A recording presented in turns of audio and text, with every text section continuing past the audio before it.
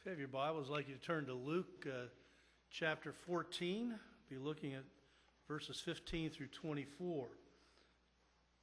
I hope uh, you and your family had a wonderful Thanksgiving holiday and um, you had a lot of turkey to eat and you still are eating the leftovers and enjoying them as well.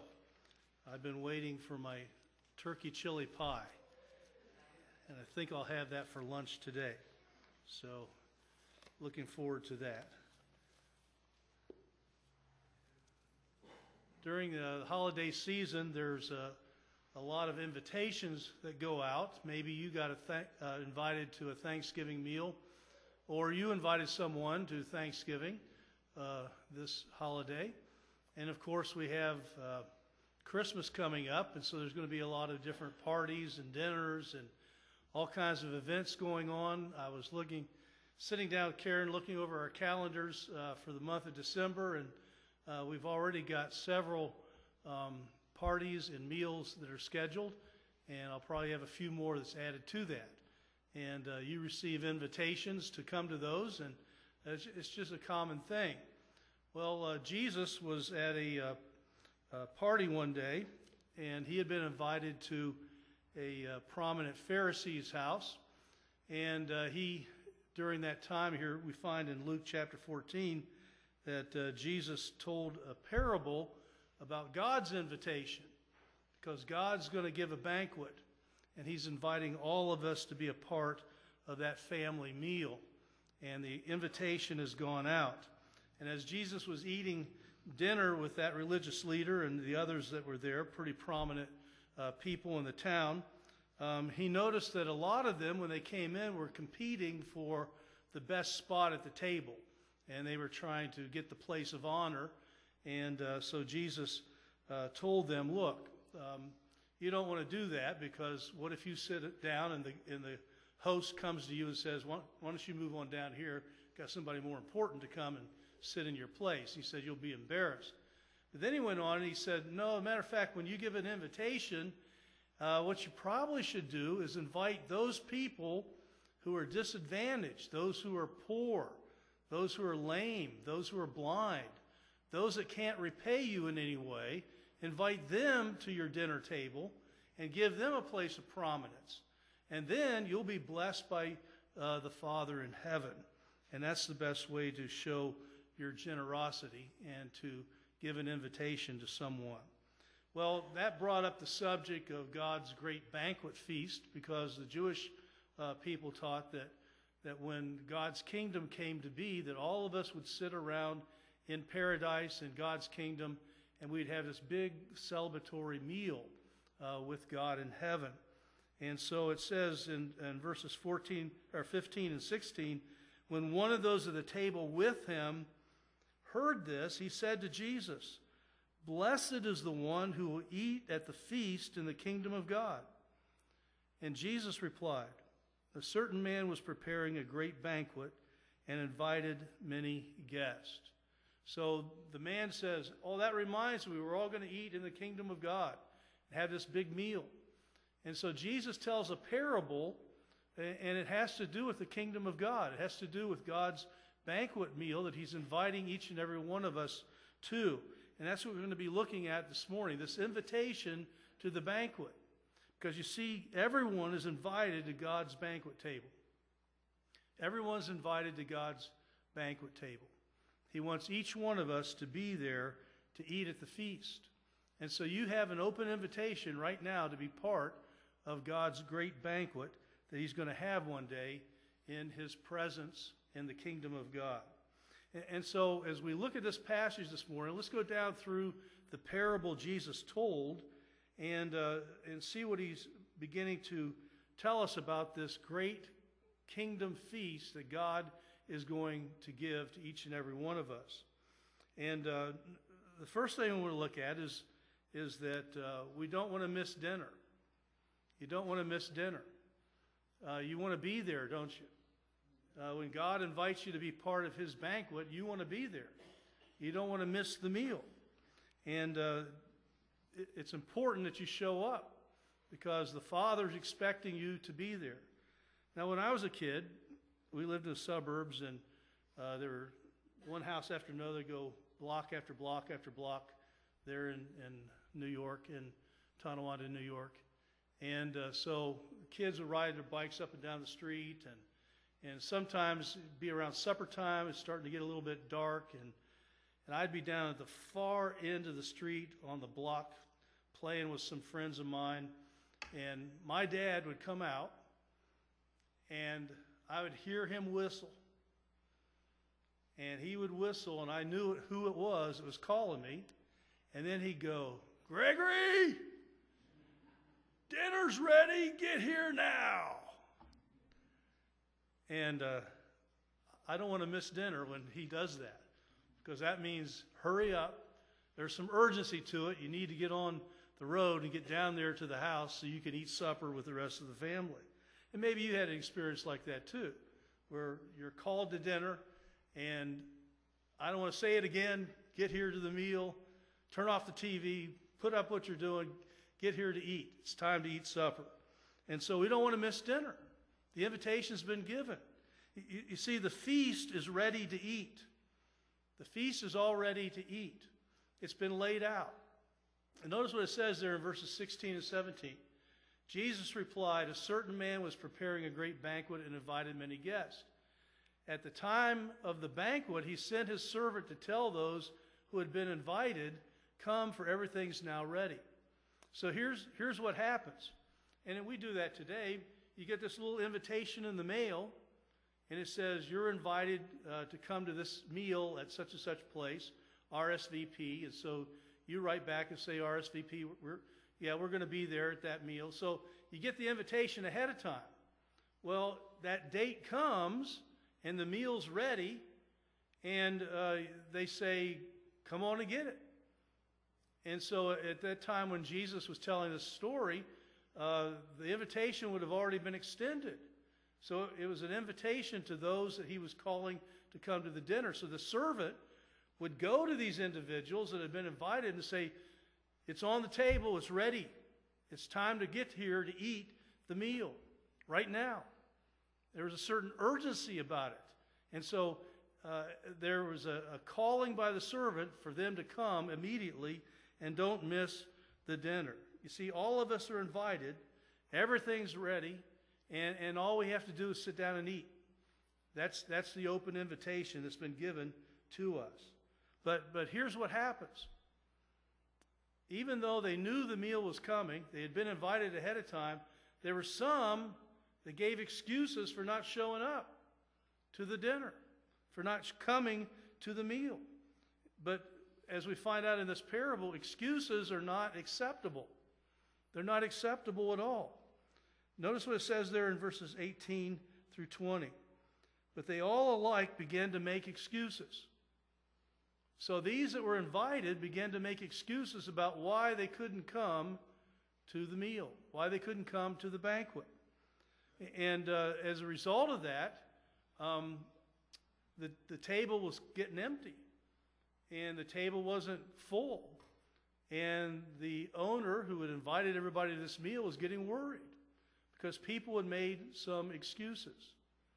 You, you know, um, I have a concern because I, I'm noticing that the table's not full at church anymore.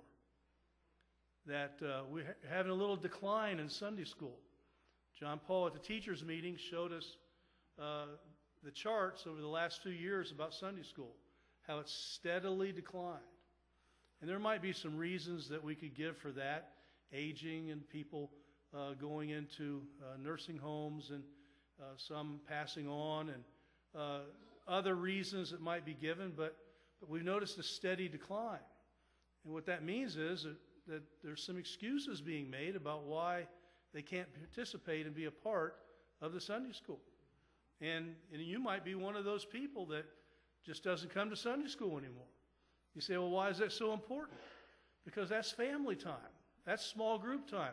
That's when you get to build relationships and bond with one another and develop a, a, a feeling of mutual sharing in the love of God as you walk this journey together with God's people. And that takes place in the small groups. So Sunday school is important. Um, I've noticed grow.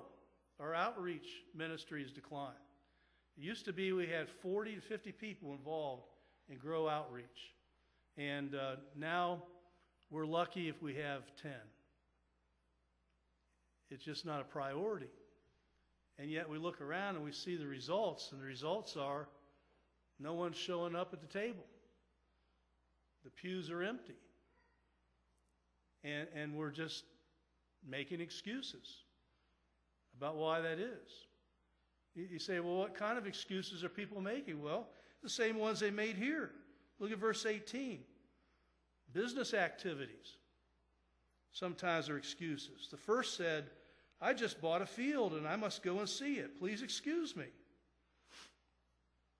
Now, that's kind of lame, isn't it? He'd already been invited to the feast. He knew uh, where he was supposed to be. He was supposed to be at the table, and yet he chose to let his business activities and the busyness of life take priority over the invitation to show up at the meal. He's so busy in life that he had no time for God. We still do that today. Notice another thing, the, another one in verse 19 there. Possessions, hobbies, sports, they, they can become excuses. Another said, I've just bought five yoke of oxen, and I'm on my way to try them out. Please excuse me. I mean, he got the latest and the best oxen. By golly, he was going to try them out. You know, it, it was time to try those oxen out. I got a new car. I'm going to go try it out. I got a new video game. I'm going to go try it out. I, I, have got this new uh, opportunity to buy something. I'm going to try it out. And, and so we have the same thing happening now, where possessions and hobbies and sports replace God in his activities. I remember talking with a pastor one time, and, and he was quite concerned because that was a time when um, everybody got those, those vans, and they would uh, trick them out. They'd get them all sported up and ready for camping. And so he said, half my congregation is gone on Sunday because they all got these new vans uh, for camping, and they go off on the weekends, and they don't show up on Sundays because hobbies and sports had taken over. I remember one family, I, was, I met a guy in the Walmart. Family had been attending church, and they were following their daughter and her sports activities, and they were all involved in the sports. It was like one of those traveling teams that you have, you know. And uh, he, he said this, you know, right now, he said, um, We're not coming to church because we're following my daughter's sports team. And as, as soon as uh, she gets through with that sports uh, team, we'll, we'll be back at church. Do you know I never saw him again? Never saw him again. They continued to go on the road trips. They went into the high school sports. And then the daughter graduated, and the family had lost all interest in church, never involved again. You don't mean to make excuses like that, but yet that took priority over the invitation to be a part of what God's doing in this world. And then good things, including family and friends, they, they sometimes become excuses. Sometimes good things replace the best things in life. And there's nothing wrong with being with your family and being with your friends, but do they really take priority over being with God and His family? You see, there's, a, there's time for your family and your friends, and there's time to be in the house of the Lord and, and uh, just have your spirit strengthened and encouraged and nourished and be with God's people and pray together and sing together and fellowship together. You see, this young man said, I just got married, so I can't come. Well, there was an old law in, in Deuteronomy that said uh, if a young man was married, he and his bride had one year. They couldn't be called up for military service. They couldn't be called up for other activities and, and uh, requirements. Uh, they had one year just of marital bliss. And so I'm sure this young man is using that as his excuse. I've got scriptural grounds on why I can't come to church, why I can't be a part of what God's doing, why I can't go to the invitation to the banquet. Well, that's kind of lame, you know. Um, maybe it would have been nice to take his bride to a banquet and have a good time at a party. And, and so all excuses become just that excuses. And, and as a result of that, you miss out on what God is doing. You miss out on the banquet. You miss out on the party that's going to take place. You, you see, the family expects you to be there. The family expects you to be there. When the invitation's given and you're invited to the party and everyone's sitting around the table, everyone's waiting for you to show up too. Everyone's ra- waiting for you to come and dine as well and be a part of what's going on. Be a part of the celebration that God is giving. Notice, notice what happens here. The servant came back and reported this to his master, all those excuses that were being made, and then the owner of the house became angry.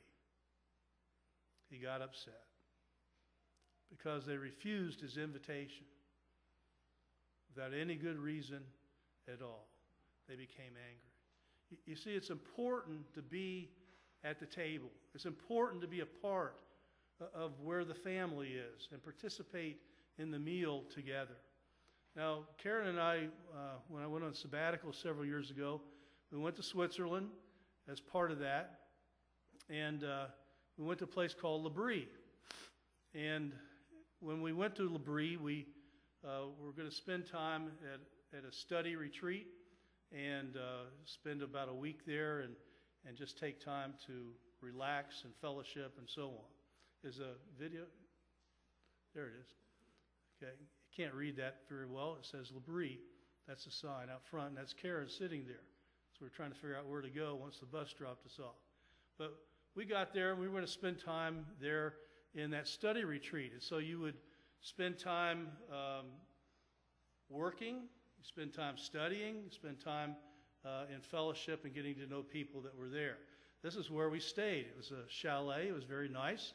And it was real big. Used to be uh, uh, lodging for children at a children's home, and it held a lot of different people. But uh, it had been turned into this retreat center, and uh, Karen and I slept there. Well, right next to it was this little chalet. This was the original home at L'Abri where the Schaeffers were, and um, every day uh, you were assigned a certain task to do. Well, one day I was assigned uh, with another fella to clean up the yard around this place, especially in the back. All the weeds had grown up, and uh, so it was hot, even though we're up in the mountains, and and so we were cutting down the weeds and and pulling uh, uh, weeds out of the ground, and and uh, a lot of different trees were cut down, and so there's a lot of yard debris, yard trash, as a result of that. Well, every day you were supposed to go to different places to eat. They had like uh, four or five different homes that people open their homes for you to come and eat uh, with the rest of the group. And the rule was that uh, they didn't start the meal unless everyone was there. Everyone had to be at the table to show up. Well, here I was up there uh, working in the yard, and they said it's about time to get ready to go to lunch. Well, I thought I had read on the chart in the morning that I was supposed to go eat lunch at the chalet right next door to where I was working in the yard. And um, I thought wrong. I discovered I made a mistake. But I didn't know it at the time, so we took the uh, wheelbarrows and put all the yard debris in them and we r- rolled them down this road. And it went all the way to the city dump at the other end of the village. And, and we dumped everything. And by this time, I'm realizing I'm late. I'm getting late. I better hurry up. So we're running back, pushing the wheelbarrow, and um, I get to the chalet. I walk in, and nobody's there to eat. And suddenly I realize I'm in the wrong place. I, I should have should have been there. And so I quickly changed my clothes because I was all sweaty.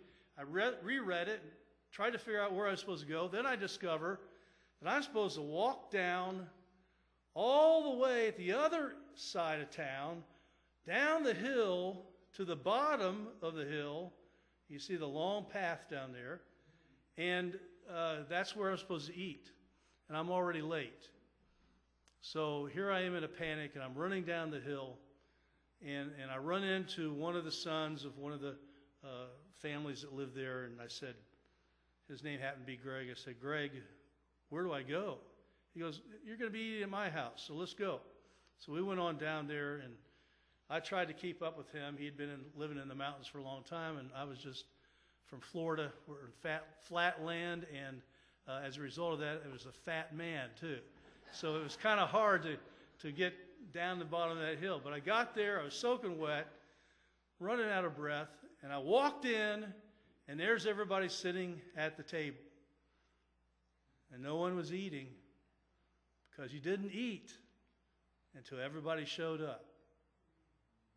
And so I walked in and made as many apologies as possible, and, and they had their prayer. And while uh, they all began to pass the food and eat, I began to drink about five gallons of water to try to get my breath and get my uh, water back. So it's important to show up because the family expects you to be there. And if you're not there, if you're not involved, you're not eating at the table, you're going to miss out. But others are going to miss out as well. And so Jesus is saying, look, the invitation has been given. God expects you to be a part of that.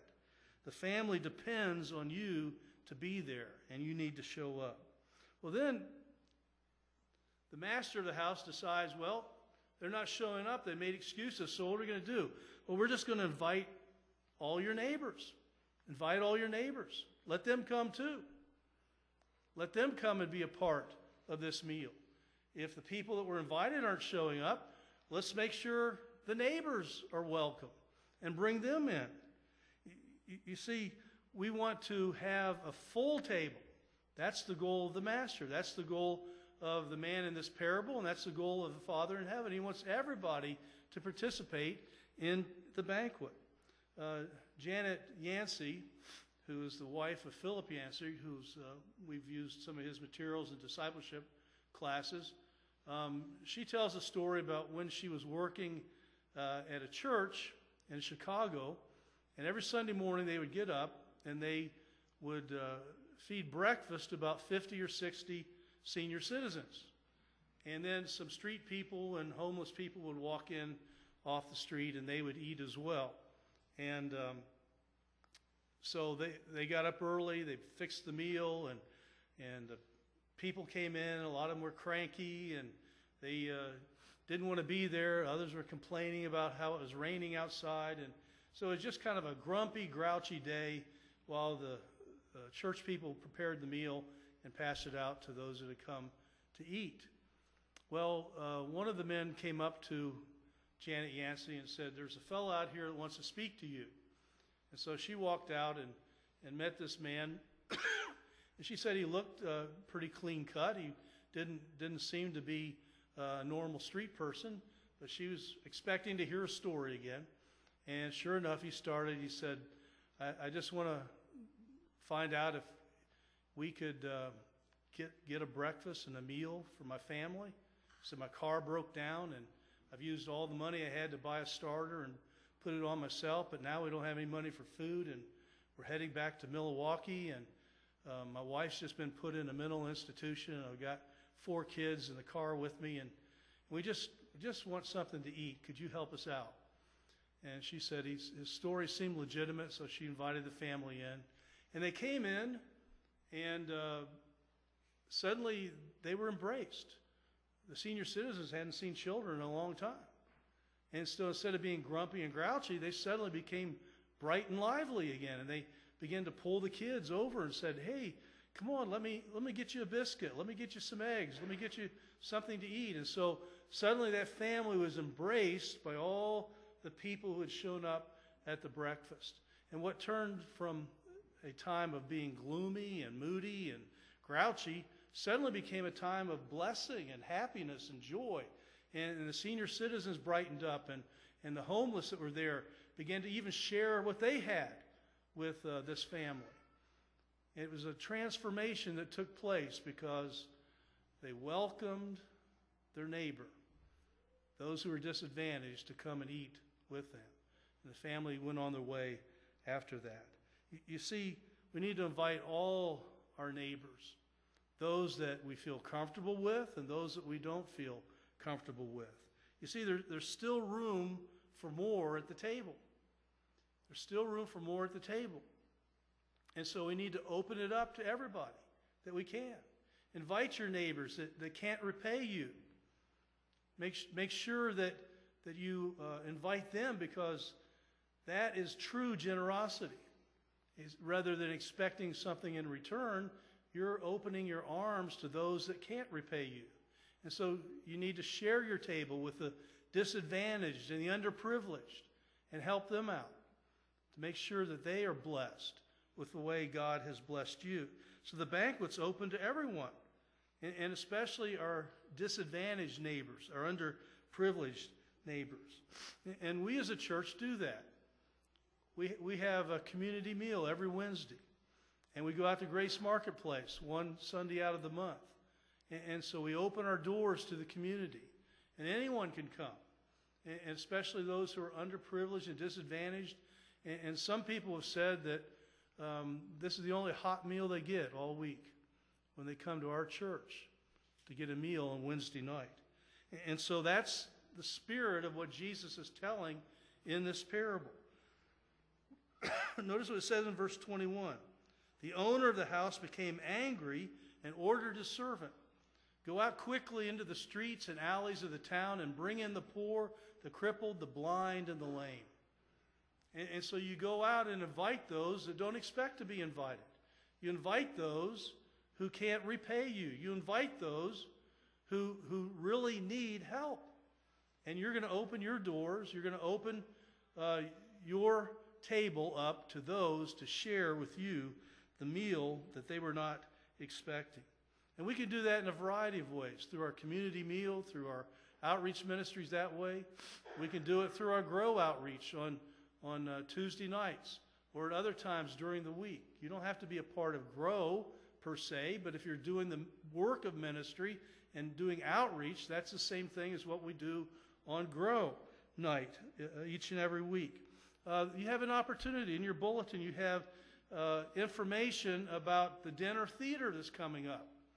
This is a way to invite your neighbors and to bring them in, to let them share in God's feast. Oh, we, we have this wonderful production that's being produced, but it's not a production in the sense of Hollywood or Broadway. It's a production in the sense of trying to reach out and share the good news of God's Word, of Jesus Christ, with those in our neighborhood. And you have an opportunity to invite them.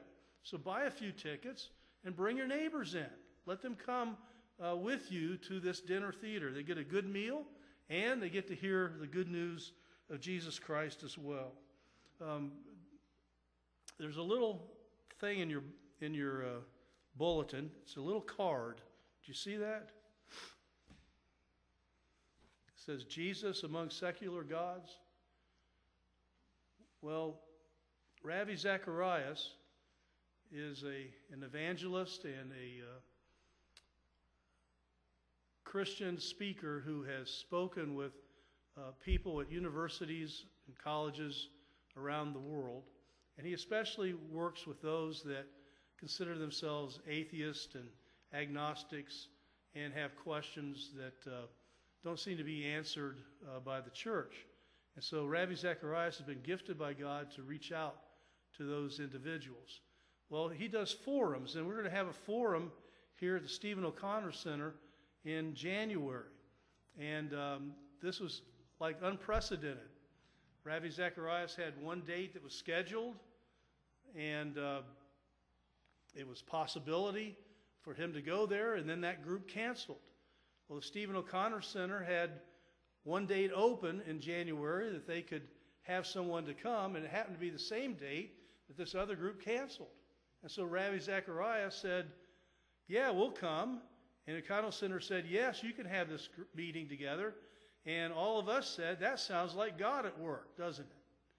That God would just arrange it that Ravi Zacharias could come to UF and speak to the university community. And so a lot of churches have already gathered together, and uh, they're uh, going to open uh, their doors to uh, witnessing and sharing and bringing others in to go hear Ravi Zacharias when he comes. But it's not just one night. There's a whole week scheduled where they're going to have conversations with students all week long on the University of Florida and uh, Santa Fe College campuses. And churches are invited to join in that outreach ministry. But the, this uh, particular event is not just for students, it's also for the community. And so this is an opportunity for you to individually bring someone to this event and hear the gospel presented in a unique way. And I hope that you'll begin to pray about that event because our church will be participating in it. And so we need to go out into the alleys of the town, the streets of the town, any way we can to bring people to come in to hear the gospel of Jesus Christ and to be a part of what God is doing in this world and to share in that great feast that He has offered to each and every one of us. But don't just stop there. Don't just stop locally. We have to extend it beyond that. Extend the invitation to everyone everywhere. Let it go far beyond just Gainesville or Alachua County. Let it go far beyond just Florida. Go, let it go around the world and begin to share the good news of Jesus Christ with everyone everywhere and allow them to participate in the banquet. Allow them to be a part of the meal that God has provided for each and every one of us. You see, there's still room at the table. There's still room at the table. And so we need to move out of our comfort zone and reach out to those who are different and distant, those that are beyond who we are, and, and begin to share the good news with them and, and give the invitation to them and allow them to come and be a part of this great banquet that God has uh, prepared for each and every one of us. Notice what it says in verses 22 and 23. Sir, the servant said, What you ordered has been done, but there's still room. Then the master told his servant, Go out to the roads and country lanes and compel them to come in, so my house will be full.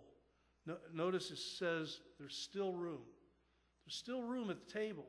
And so we not only need to invite those in our Jerusalem, those who are right around us, we need to invite those that are far beyond us and go as far as we can, any way we can, to invite them to be a part of this great meal that God has prepared, this great banquet, this great feast in the kingdom of God. And so the master of the house said, Go out into the highways and the byways, the country roads and the country lanes. Go out there and, and compel people to come in. Bring them in. Do whatever you can to, to bring them into this great feast of the kingdom. And, and we do that, don't we? We do that when we give our monies and our prayers and our offerings and our mission trips to uh, those who are missionaries and sent to these faraway places. And sometimes we go in mission teams to do that kind of ministry as well. I, I never really fully understood the impact of these words until one day when I was a teenager, we had a, a, uh, a revival service at the church I was a part of in Western New York. And uh, the church was small, and uh, the revival services weren't going very well. But we had this group that had come up from Texas. It was a youth group, and they were uh, a choir that were singing. And they had a, an evangelist named Ed Human with them. And Ed Human was just a dynamic evangelist. And he would uh, constantly be sharing the gospel with everybody he met. And so, um, first night, not very many people showed up. It was a small little mission church we were part of. And so Ed Human says, We need to get people to come to this revival. And so he got his choir that came with him and he got some of us who were part of the church, and he said, Here's what I want you to do. Jesus said, Go out into the highways and the byways and bring them in. So that's what we're going to do. And we just spread out all over the town. Everybody we saw, we said, Hey, come on, we're having this event tonight. You be a part of that. And you know what happened? The place was filled that night with people because we literally took these words that Jesus said Go out into the roads and the country lanes and compel them to come in. People are willing to come if you're excited about what you're inviting them to. And, and you want them to be a part of what you're involved in. And so we need to go and compel them and constrain them and encourage them to be a part of what God has invited them to. And go out into those highways and byways and, and bring them in so his house will be full. So the table will be full. And here's the warning if you miss the banquet, you miss everything. The master said, I tell you, not one of those who were invited will get a taste of my banquet. Those that made excuses, those that said we're not going to participate, they missed it. They missed the banquet. They missed the feast. They missed the blessings that come with doing what God wants. So we don't want to miss dinner. We don't want to miss the opportunity to share dinner with others. You, you see, we have an opportunity, not only locally to share the good news, but internationally. In your bulletin, you'll see uh, a little form that has a list of different missionaries around the world. And you can pray every day for one of these missionary families who are ministering around the globe. And, and you know, the good news about all this is that, that uh, when you pray, when you give, God blesses. Do you know that when you give to the Christmas offering and you use your envelope to contribute, that 100% of that goes to support IMB missionaries and their work around the world? There's 3,500 missionaries, almost 3,600. Last year, 1.9 million heard the gospel. There were 175,000 new believers, 15,000 trained pastors, and over 6,000 new churches, all because of your prayers and your giving and the work of the missionaries around this globe. Go to places that are distant, go to places that are different. And you can do that through giving to the Christmas offering and being a part of praying for our missionaries around the world. So let's close with a video that shows us what our missionaries are doing around the globe. It shows how you can extend beyond our borders and invite people from everywhere to be a part of what God's doing in this world.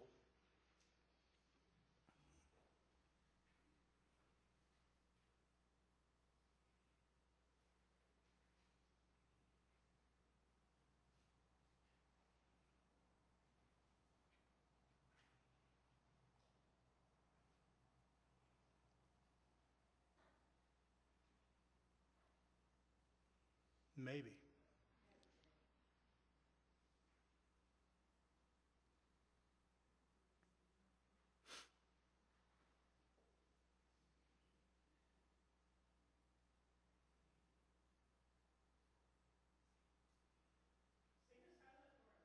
What's that? So low you can't hear, yes. That's all right. We'll, we'll pass on that video. If you'd like to see more, come Wednesday, and uh, we'll see the video as our uh, music team comes up to sing and lead us in song this morning. You can have a part of what God's doing around the world through our missions giving and mission outreach and giving through the Lottie Moon Christmas offering. Let's all stand together and pray. Father, as we think about the invitation, you've invited us to the table. And Lord, we don't want to miss dinner. We don't want to miss the opportunity to share in the great banquet you prepared for us. But we want to share that with others too. So give us grace to invite our neighbors and to invite those who are far off in distant lands and distant places and different from us. Lord, don't let us neglect to tell others about Jesus. In his name we pray. Amen. Let's sing together.